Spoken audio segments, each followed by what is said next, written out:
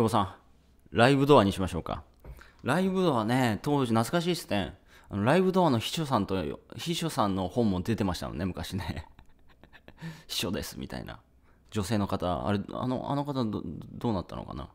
本も確か出してたと思うんですけど。だからライブドアブランディングすごかったですね。ライブドア元社員ですとか。うん。その、ライブドア、まあ、時価総額もすごいことになってましたからね。うん。だから本当に僕あの時、そのニュースをね、すごい賑わせて、堀江さんも毎晩のようにね、あの、時価総額でこう出てましたからね。すごかったですよね。うわーみたいな、ブワーみたいな。うん。ただ今はね、あの、ライブドアってあんま聞かないですよね。でもライブドアってあんのかな？ライブドアブログってまだ、ライブドアブログ？あんのかなまだ？あ、ライブドアブログまだありますね、久保さん。ライブドアのブログまだあるじゃないですか。すごい。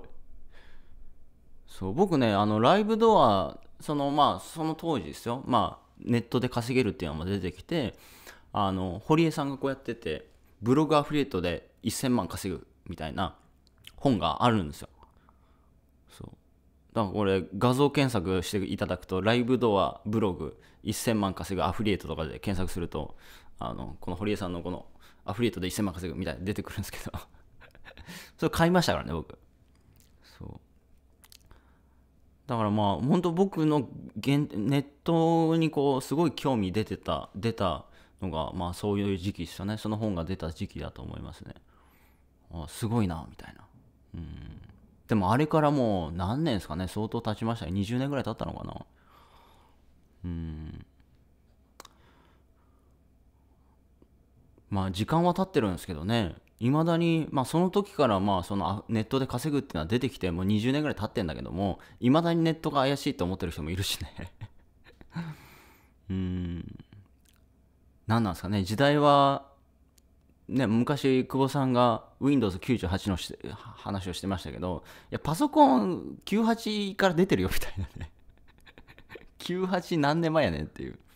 そんな時から出てるわけで。だけど、その、なんですかね、その出てるんだけど、それを使いこなしてお金を稼げる人とそうでない人がいて、なんか、不思議ですよね。